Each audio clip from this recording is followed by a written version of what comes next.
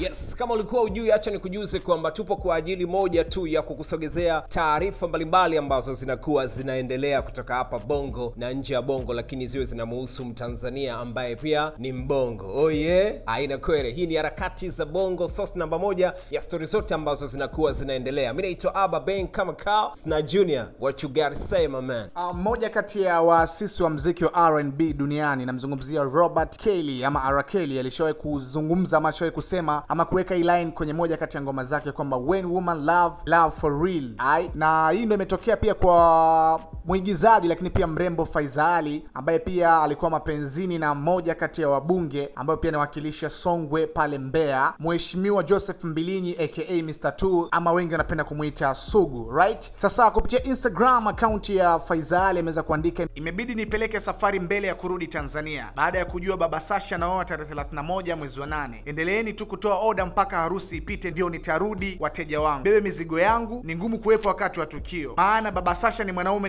ninayempenda kushinda wanaume wote duniani. Baba mtoto, sikutakii heri, yakikushinda rudi tu. Mi najua huna furaha, ila maisha lazima yaendelee. Moyo wangu unaamini unanipenda kama ninavyokupenda wewe. Hayo ni maneno ya Faizali ambayo ameweza kuiandika pia kwenye ukurasa wake wa Instagram, yakimlenga pia aliyekuwa mume wake, namzungumzia pia Joseph Bilinyi ambaye ni mbunge wa Mbeya kule and all the stuffs. Hivyo ndo ambavyo mapenzi yanachukua nafasi pia katika watu, na wanasemaga mwanamke akipenda anapenda kweli, so inaonekana kama Faiza bado hajachomoa betri pia kwa mshikaji wetu Joseph Mbilinyi. That's it. yes. Una chochote cha kuweza kushare nasi basi dondosha komenti yako alafu itakuwa ni kitu kizuri zaidi. Kumbuka kuendelea kuwa nasi kama kawa na usisahau kusubscribe youtube chaneli yetu kwa jina moja tu harakati za bongo. Yes sir. We out